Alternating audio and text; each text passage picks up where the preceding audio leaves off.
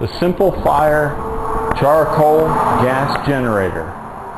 Probably the simplest setup you can use to take charcoal and make it into a usable gas for running an internal combustion engine.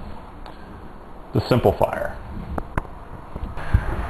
Hi, I'm Gary Gilmore and this is my Simple Fire charcoal gasifier set up on a generator set. And well, let me light it and then I can talk later while the wood gas is coming up to uh, up to temperature. I just turned on the uh, startup fan and then I'm going to use the torch.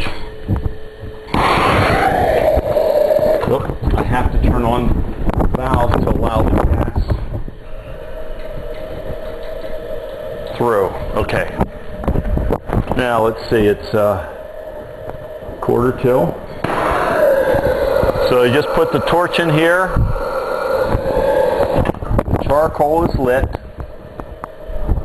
And now what's going to happen is this charcoal will burn, it will produce carbon dioxide. That carbon dioxide is going to go through the uh, bed of charcoal here and get reduced to carbon monoxide. Because all this carbon in here is hungry for oxygen and it'll actually grab the oxygen molecule off of carbon dioxide to make more carbon monoxide. And this is the gas, primary gas, that runs the internal combustion engine. So as this is heating up, the fan over there is sucking air in here, making carbon monoxide. It has to evacuate this entire container of all the oxygen that got in there when I was uh, putting charcoal in. Uh, it also has to evacuate the air from all these lines and from the filter which is on the back here. But once it evacuates it all and the gas is rich enough to burn, uh, then we'll be able to start the engine and get it, and get the generator running. The charcoal gas is not as powerful as wood gas because in the process of making charcoal, you've removed most of the hydrogen from the wood. Therefore, the predominant fuel you're using in the engine is carbon dioxide. Advantages of charcoal is you don't have to worry about engine tars. All I have tars from the wood getting into the engine and gumming it up. I do have to worry about dust, but dust is much easier to filter than uh, tar. Let's give a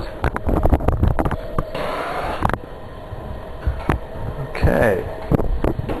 We do have a flame here.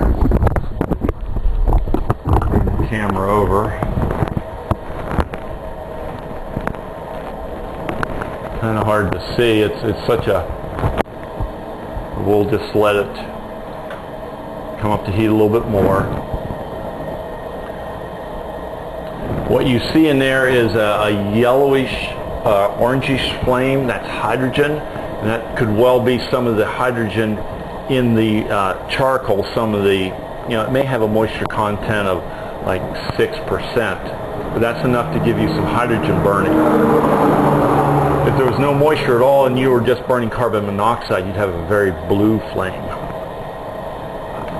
But you take a look into the uh, nozzle here and you can see uh, the air being drawn in.